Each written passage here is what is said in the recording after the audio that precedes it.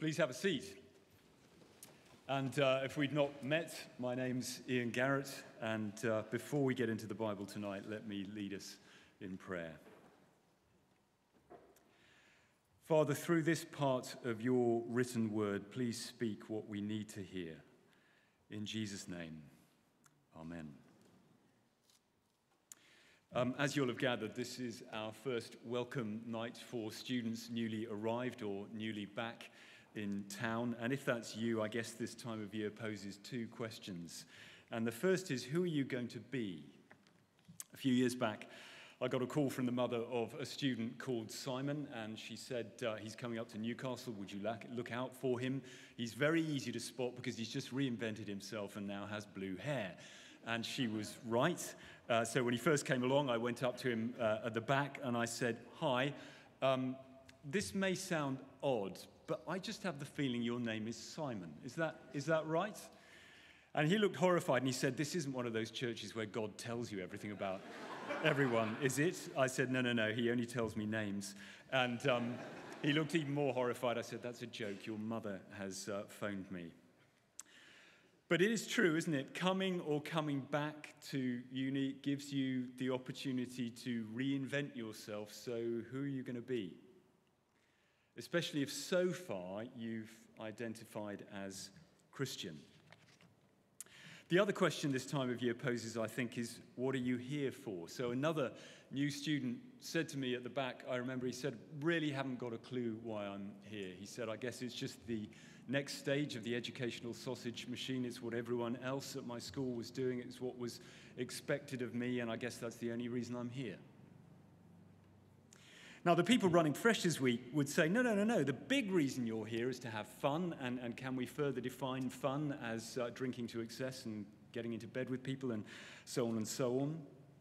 I trust you've got better reasons for being here, uh, like stretching your mind and your skills, learning to live independently, making friends wisely. But if you're a Christian, everything you do, work, play, the lot, should be shot through with God's overriding purpose for your life, which is to know Him better, live for Him, and make Him known. That's what it's all about. So, we're going to look tonight at that second Bible reading, which is all about God's overriding purpose for us if we're trusting in Jesus. And if you're not sure that's you, if that's the biggest area where you've got to decide who you're going to be, can I just encourage you to stay stuck into church while you do that? Because I want to say, we don't think that church is just for the convinced and the committed. Um, you'll find plenty of people come along here uh, who want and need the space, maybe from family, to grow into their own convictions, to sort out what they really believe. And we aim, at least, to be that kind of space. I can't speak for how well we do. So we won't assume anything of you. And if you just need to come along and lie low and think and ask questions, that's fine. Please do. So, would you turn in the Bibles to page 1015? Uh, you should find Bibles uh, around you in the, uh, in the seats. Uh, verses come up on the screens anyway, but it's good to see that actually uh, it's, it's in the Bible. 1 Peter chapter 2 and verse 9 to 12 is what we're going to look at, and it says two things to people trusting in Jesus. And the first is who we are and what we're here for. So look down to 1 Peter chapter 2 and verse 9. This was written by the apostle Peter, follower of Jesus for three years. He's just been saying that most people are living in God's world without any reference to God. And then to Christians, he says, by contrast, verse 9, but you are a chosen race, a royal priesthood, a holy nation, a people for God's own possession so that you may proclaim the excellencies of him who called you out of darkness into his marvelous light. In other words, while most people are saying, you know, I do not want God in my life, he's saying God has taken possession of you if you are a Christian so that you live for him and speak for him so that others around you have the chance of coming to know him too. And partly that happens by us being holy, to lift that word from verse 9, which just means belonging to God and so being different. So, for example, I remember a student who put her trust in Jesus here one Sunday evening, and she'd been weighing that up for a while. The big issue for her was the boyfriend whom she'd been sleeping with against her better judgment. But she finally saw it was infinitely more important to have Jesus than to have the boyfriend. So she committed herself to Jesus, and uh, she went back that Sunday night to tell the boyfriend that she wasn't going to be sleeping with him anymore. He said that was outrageous, and so she said, In that case, we're not going out anymore. He was here the next Sunday. I met him at the back for the first time. I, I didn't know who it was, and I, I said, um, What's brought you along? And he said, Well, my girlfriend has just dumped me for Christianity, and I want to know what's got into her. And the answer is Jesus had got into her. He'd forgiven her, he'd come into her life by his Spirit. She now wanted to be different. That wasn't difficult in one way for her. So, being holy, living differently because we belong to Jesus, will point people to Jesus, but only if we somehow let them know we're Christians, somehow wear that label. So, a while back, the Christian unions here got into what they called service evangelism. We are going to tell people about Jesus just by serving them, they said. That was the idea. And so, uh, for example, they went around the kitchens in halls, washing up and cleaning the place, which in some of the boys' corridors was like mucking out pigs. And so it was really noticed and appreciated. But if that is all you do, people will not make any link with Jesus as the reason you're doing it. They'll just think you're nice or weird or both.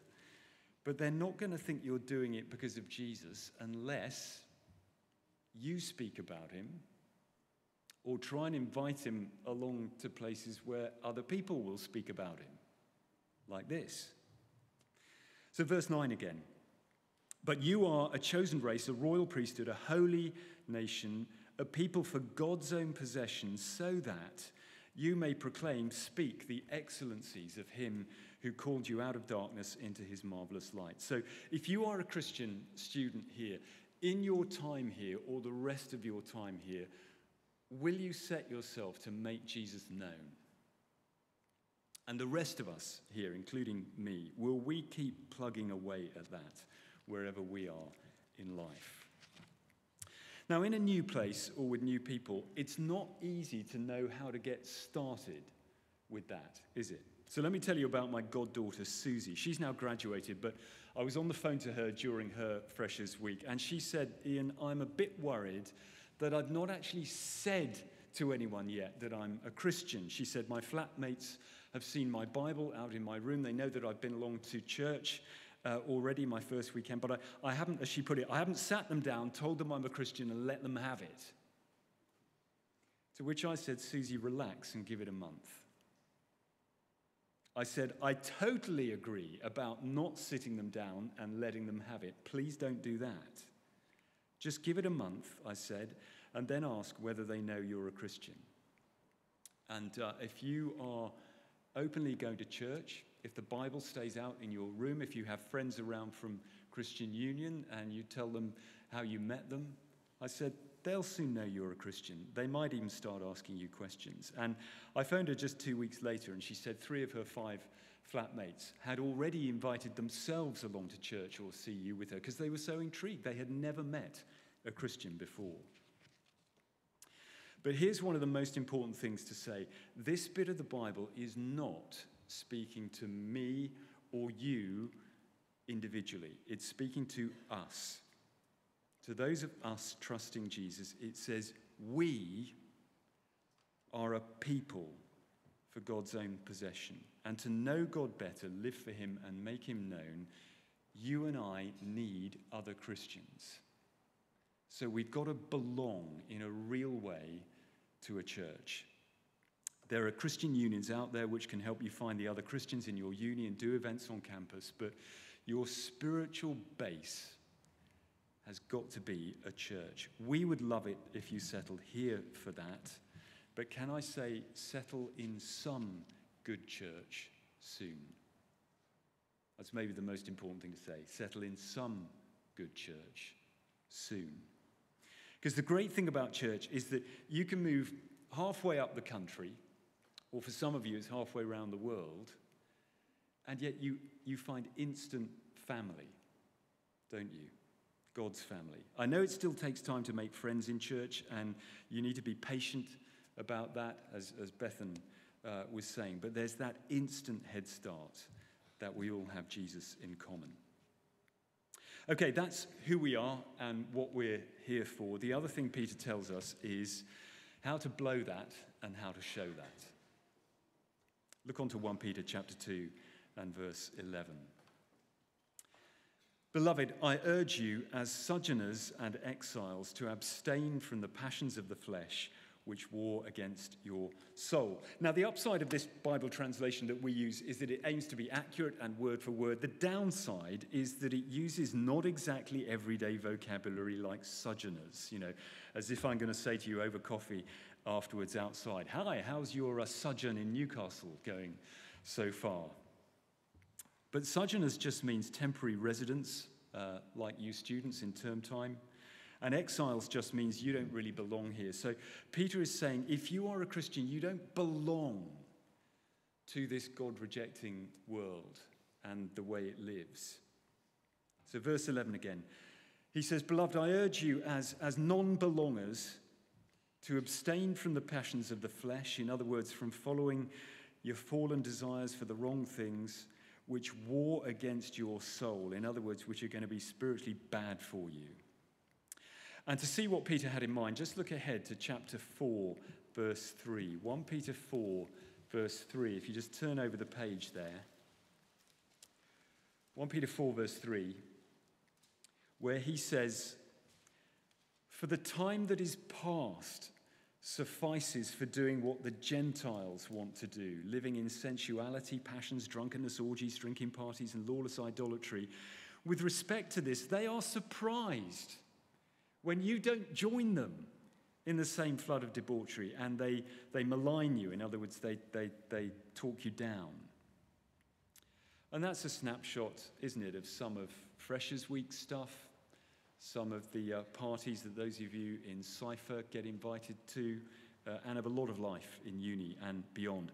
It's a picture of people swimming around, apparently happily, in this pool of passions, including the predictable ones like drink and sex, but not only those ones, and saying, Come on in, the water's lovely. Um, I don't know about you, I am a cold water wimp. I hate it. And so when I'm on holiday with family and friends and they plunge into the sea and they say to me, Come on in, the water's lovely, I can see through it. Because we can't afford to go to the Caribbean, we go to Ireland. and I know that without a heavy duty wetsuit or a lot more global warming, it will not be lovely. And whether or not we are cold water wimps, God wants us, if we're Christians, to be sin wimps. So that when we hear the non Christian world say, Come on in, it's lovely, we just see through it. And we think, No, it's not, because it isn't. But that's easier said than done, isn't it? I remember my very first week at uni, sometime shortly after the flood. Someone asked it, if I wanted to come to a film with a group of others, and I stupidly said yes without asking which film. And when we got to the cinema, it was obvious from the posters what kind of film it was. It was an 18, and on the poster was a scantily clad woman, and from reading the blurb, I could predict that she was going to get less clad as time went on. And so we've all been here, haven't we? I knew I had to walk away, but like all of you, I was worried what they were going to think. But turn back over to chapter 2, verse 11. Here's the compass bearing for, for moments like that. Chapter 2, verse 11. What does it say?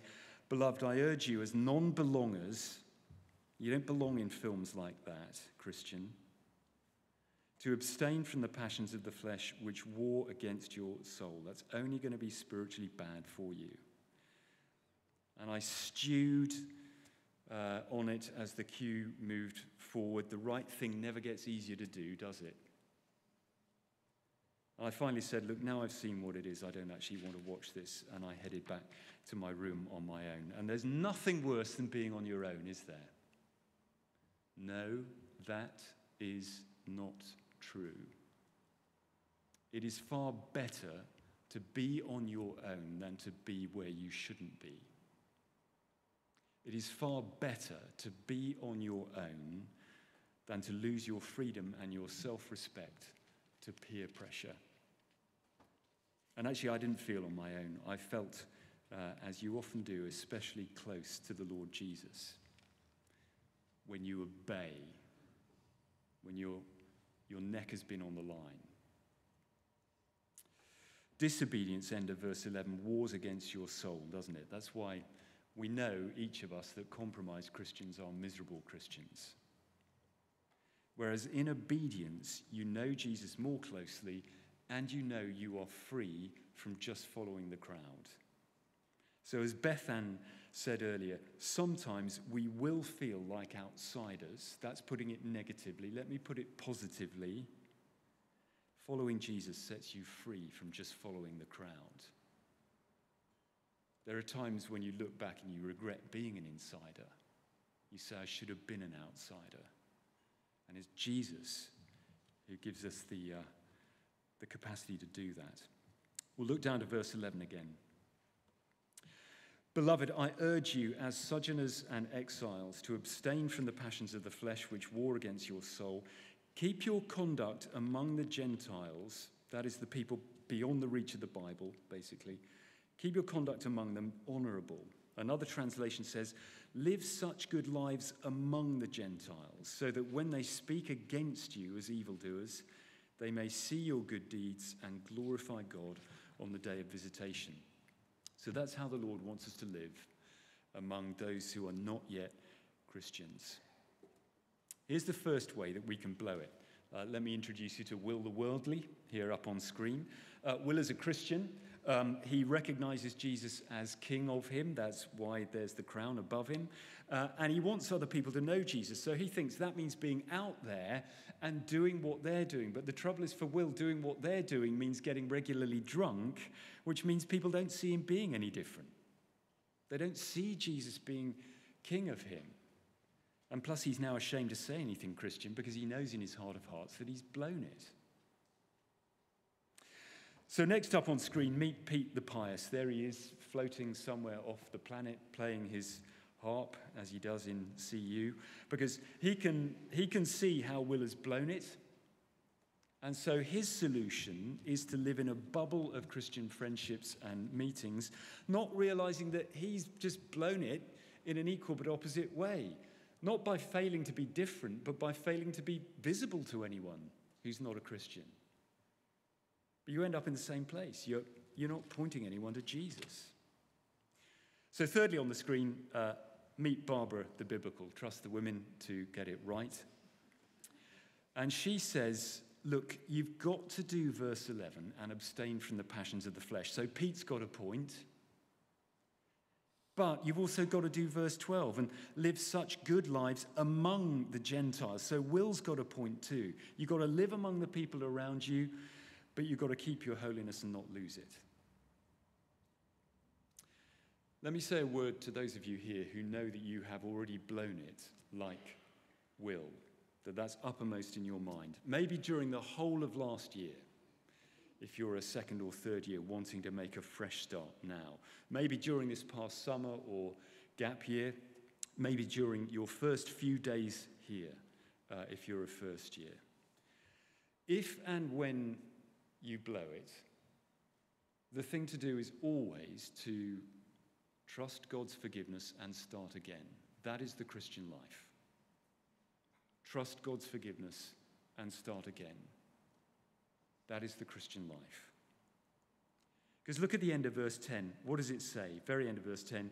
You have received mercy. And mercy means God's commitment to forgive you every time you need it this side of heaven. And he can do that because Jesus, his son, anticipated your whole lifetime sin, past and future, the whole lot, and he paid for the forgiveness of it all on the cross. So there's nothing that's going to take him by surprise, nothing that he hasn't banked on having to forgive. So if you've blown it, and however you've blown it, trust God's forgiveness and start again. That's the Christian life. So, years back, there was a fresher called Ben. He messed up massively in Freshers Week. He got completely plastered one night. He was utterly ashamed of himself. And I remember him saying to me, I've blown all hopes of pointing any of my friends to Jesus. And I said, Ben, no, you haven't. And he said, But they had to carry me home because of the state that I was in. How am I going to be any sort of witness to Jesus after that? And I said, It depends what you do next. If you pretend nothing happened, or that it's okay for Christians to behave like that, you're right, you'll have absolutely no Christian impact at all. But if you say to them what you said to me, that you are ashamed and that that is not how a Christian should be, and if you get up and get going again and show them that Jesus forgives people and gives people fresh starts, they'll get the gospel loud and clear from you. A year later, uh, Ben was CU president. A few years after that, uh, he was in Japan as a missionary. If you've blown it, and however you've blown it, trust God's forgiveness and start again. That's the Christian life. Just look down to verse 12 to end uh, with a bit of Bible realism about pointing people to Jesus. Keep your conduct among the Gentiles honorable, so that when they speak against you as evildoers, they may see your good deeds and glorify God on the day of visitation. So the last bit is what we really want, isn't it? In other words, so that they come to glorify Jesus as their own Lord and Savior. But notice the middle bit. So that when they speak against you.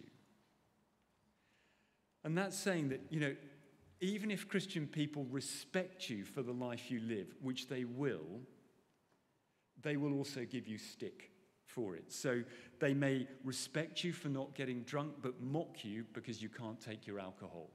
Respect you for what you believe about uh, sex being for marriage only, but mock you for not being able to pull a girl or guy, or that you're still a virgin if you are. So let me, tell you, let me end by telling you about a student here a while back called Tim.